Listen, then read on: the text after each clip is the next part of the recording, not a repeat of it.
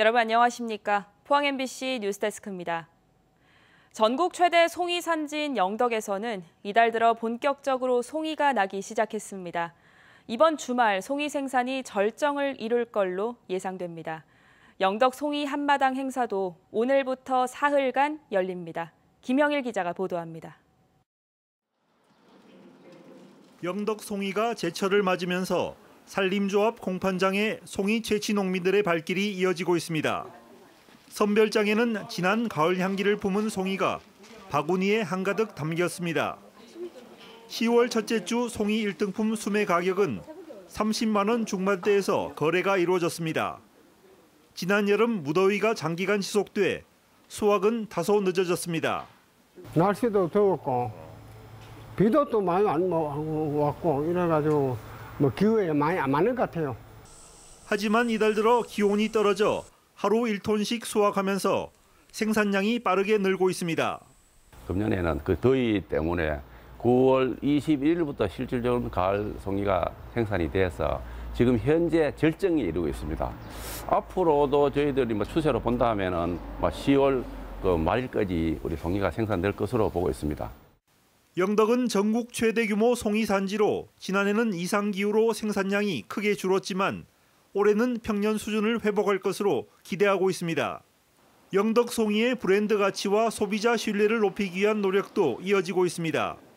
금액대별 소포장 판매를 활성화하고 수도권을 대상으로 한 프로모션과 홍보 예산도 대폭 늘려나갈 계획입니다. 송이산 가꾸기 사업을 매년 30헥타 이상 실시하고 있습니다. 영덕송이를 가치를 높이기 위해 브랜드와 패키지 디자인을 개발해 영덕송이의 우수성을 알리고자 노력하고 있습니다. 또 영덕구는 판로 확대를 위해 영덕송이 한마당 행사를 열고 영덕국민운동장과 영해휴게소의 송이 특설 판매장을 운영하고 있습니다. MBC 뉴스 김혁일입니다. 지난 2020년 포스코 포항제철소에서 60대 하청 노동자가 작업 중 집진기 배관에 빨려 들어가 추락해 숨진 사고에 대한 1심 판결이 나왔습니다. 무려 3년여 만입니다.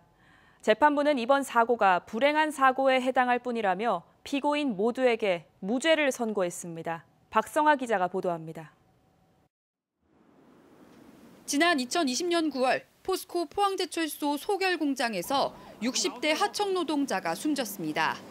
이 노동자는 집진기 배관을 보강하는 작업을 하던 중 낡고 부식된 배관이 부서지면서 배관 안으로 추락했고 부서진 배관 내 날카로운 절단면에 안전줄이 끊어지면서 가동 중인 설비에 빨려 들어가 숨졌습니다. 사고가 난 지 3년여 만에 내려진 1심 선고. 재판부는 업무상 과실치사와 산업안전보건법 위반 등으로 재판에 넘겨진 하청업체 관계자와 포스코홀딩스 관계자 전원에게 무죄를 선고했습니다.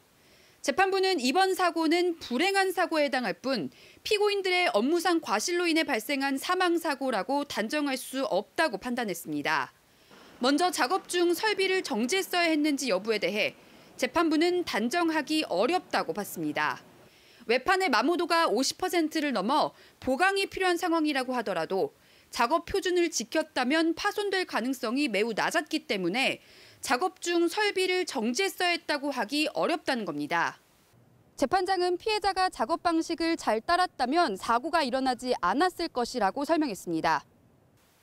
작업 발판을 설치하지 않았던 점에 대해서는 피해자가 예정된 작업 지침에 어긋나는 행위를 했고 안전줄 역시 절단면에 끊길 수밖에 없었다며 사고와의 인과관계가 있다고 보기 어렵다고 밝혔습니다.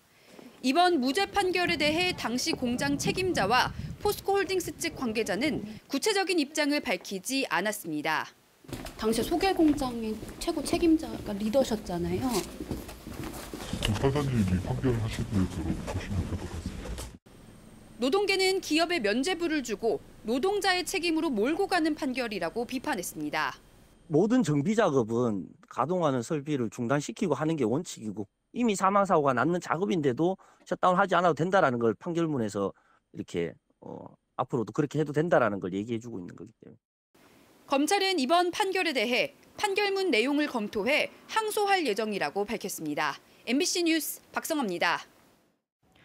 한 달여 만에 재개된 포스코 노사의 임금 단체 협약 교섭이 어젯밤까지 진행됐지만 합의점을 찾지 못하고 결렬됐습니다. 포스코 측은 기본금 16만 2천 원 인상, 일시금 600만 원 등을 최종안으로 제시했지만 노조가 교섭 결렬을 선언했다고 밝혔습니다. 노조는 교섭 결렬에 따라 중앙노동위원회에 조정을 신청할 예정입니다. 오늘 오후 1시 반쯤 울진 후포항 동쪽 해상에서 10명이 타고 조업 중이던 84톤급 근해통발 어선에서 60대 선원 한 명이 와이어 로프에 머리를 다쳐 의식을 잃는 사고가 발생했습니다. 울진 해경은 함정과 헬기를 이용해 부상자를 긴급 이송했지만 이미 심정지 상태여서 병원에서 사망 판정을 받았습니다. 경주 지역 시민사회단체는 오늘 기자회견을 열고 경주시 체육회의 인권 침해 의혹과 관련해 경주시의 공개 사과와 의혹이 제기된 당사자의 자진 사퇴를 촉구했습니다.